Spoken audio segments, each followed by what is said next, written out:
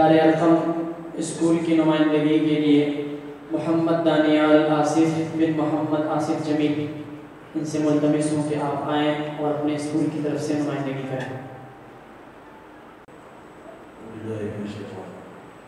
أولم يهد للذين يرثون الأرض من بعد أهلها،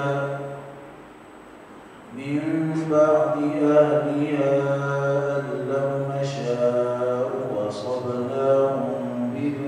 will be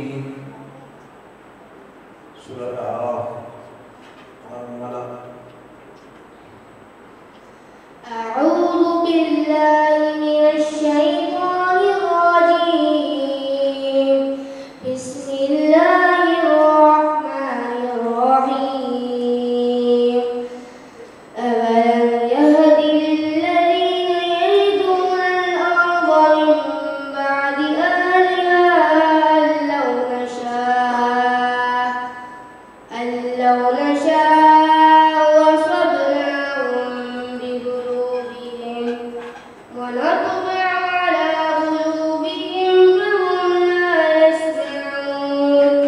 تلك القرى نقص عليك من أنبائها. ولقد جاء